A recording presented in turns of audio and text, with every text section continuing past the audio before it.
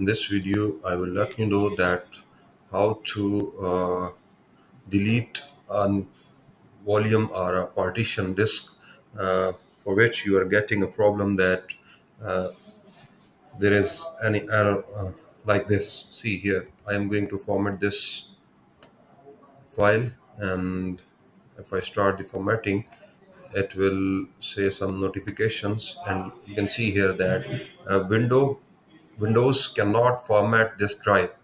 Quit any disk utilities or any other program that are using this drive.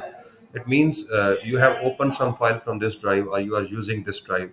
But at, uh, at this moment, I am not using this drive because I have not opened any file. So simply, what will I do uh, to resolve this issue? I will simply click on the right button on the mouse pad and then I will go to properties then I will I can see here the four options.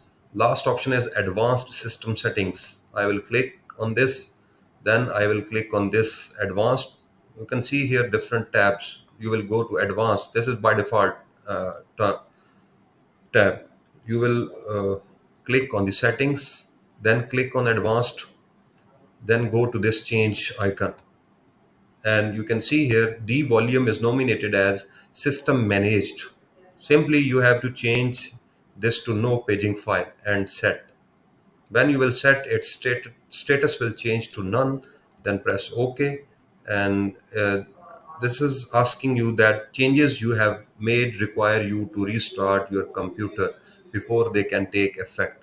Then you have to press OK and your computer will be restarted automatically. Uh, I will restart my computer and will be back to you to let you know that how can we proceed. Now again, uh, I will go to this PC and uh, I will right click on the volume and will try to format this.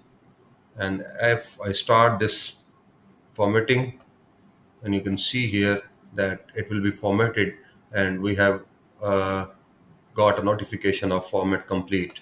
Click OK and then click on close. In this way, you can delete or you can format a whole partition which gives some errors like we, we saw in the previous video. Thank you very much. Take care.